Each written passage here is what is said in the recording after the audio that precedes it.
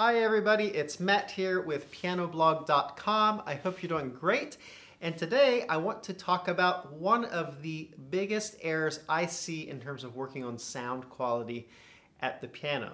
Uh, I got thinking about this because now that students are returning, some students are returning to in, uh, in-person lessons, I'm noticing a lot of people are having trouble adjusting back to an action on a piano different than the piano that they're practicing at home. So for example, students who have been practicing on an upright piano that maybe has a lighter action, uh, when they come back to, for example, this piano which has a slightly heavier action, they have a lot of trouble adjusting and uh, controlling their sound quality with that heavier, kind of more substantial action.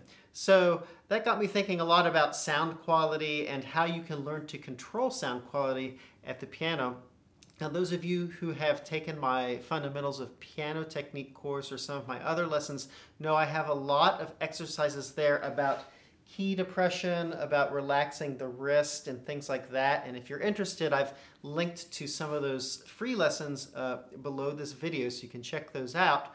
But I want to talk about one error uh, in specifically uh, in this video, and that is that a lot of people, when they're thinking about sound quality at the piano, they don't actually concentrate uh, on one chord at a time or one note at a time. They sort of think maybe a little too generally. Now that works if you're really used to adapting to a piano, but if you're really at a stage where you're trying to uh, just work on your sound quality or you're new to a piece and you want to think about voicing and controlling um, particular chords or, or, particular kind of color at the piano, it's very helpful to get in the habit of fixating on really one chord at a time. So I pulled a piece out sort of at random. I, I have a student working on this right now.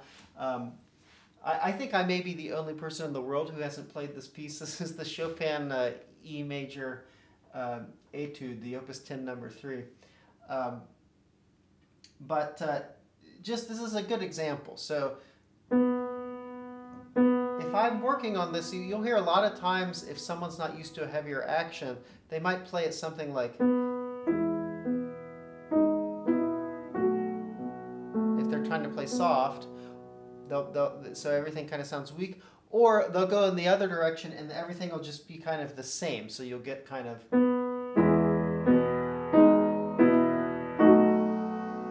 And the problem is here, well, there's, a, there's several problems here. The, the first problem is just, of course, maybe they're not listening to themselves and maybe they don't have a, a, a sound picture, an image of the sound that they want in their head. So they, they don't, not really comparing the sound to anything in particular. But Another problem is that even if they might have that image in their head, they're maybe trying a little bit too quickly to replicate what they want to produce. And so, for example, uh, this piece is great because it has a lot of kind of thicker harmonies, um, but at the same time, you're trying to kind of control every voice. So uh, I, if I were working on this, would be doing a lot of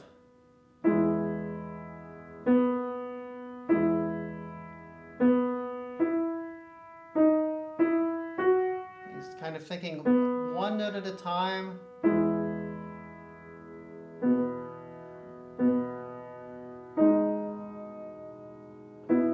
And, and you can even get into details. Let me see, for example. You can even start to think about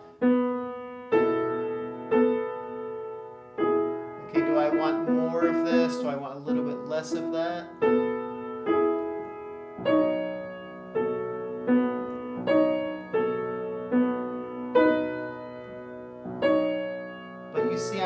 Focused kind of on one chord at a time.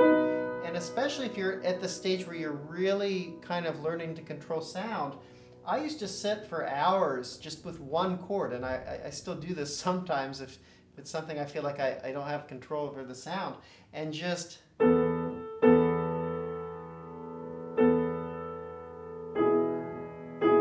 you'll find there are some chords, where, okay, for example, um, what's one that's difficult for me because my, my hand's a little smaller. So for example, this chord, um, for me, it's, you know, I have a slightly smaller pinky, so I have to to really work to make sure I'm getting the voicing I want there. And then I would think, okay, how much E, you know, really I'm trying to listen to the colors in the chord. How much E do I want? And then after I've kind of sat on the chord, sat one, one thing at a time, I, I can kind of start to put it together a little bit. So it's a little more... Um,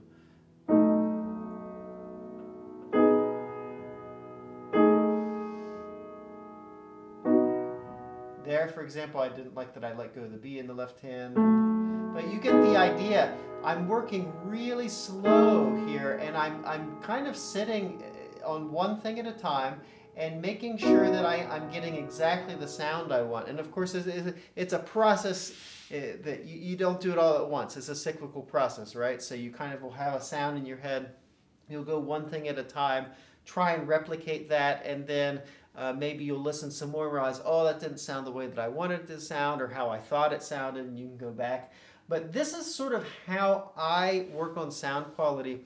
And so if you're in the habit of just starting at the beginning and going all the way to the end or playing several lines, and you find that you, you just are not quite getting the sound that you want out of the piano, you might try this kind of work where you're literally even just kind of you know, okay, do I want some more G sharp? You get the idea. Like you, you really playing around with with controlling uh, the keys, how how much gradation of the key descent that you can feel, um, and, and working with that aural image. When I was in high school, I had a fantastic teacher named Lee Mitchell. Uh, and I, I remember distinctly, I was about to play a, a, recital, and he sat down to try the piano out and um, he played a bit of Chopin, a couple lines of, of, of, Chopin, and I'll never forget just hearing that and, and thinking that sounded like a completely different piano than the one I'm playing, and I really couldn't quite understand how he was getting that sound, that color out of the piano. And it took me a long time, I think, uh, you know, all the way through grad school before I really started to realize what it was to, to work with the piano to really get the sound quality, a, a good sound out of a piano. Now, I'm not saying that I'm, you know, the best at it or, or that I have an amazing sound now. It's, it's always a work in progress, right? But, but just kind of thinking it in specifics like that and trying to work with, with real detail you know, without kind of driving yourself crazy and, and without kind of losing sight of the bigger picture, sometimes can really pay off if you can find that concentration and self-control to do it. So I hope you find this helpful. Uh, if you do like this stuff, please like and subscribe. You can like below the video, uh, like, uh, subscribe to the channel, and uh, click the bell icon. And also feel free to leave a comment. I'd love to hear from you, love to hear questions because I do include those in future videos. And I have pasted uh, some links below this video to free beginner piano lessons and also free piano technique lessons that you'll probably enjoy. So that's it for today. I will see you in the next video. Bye-bye.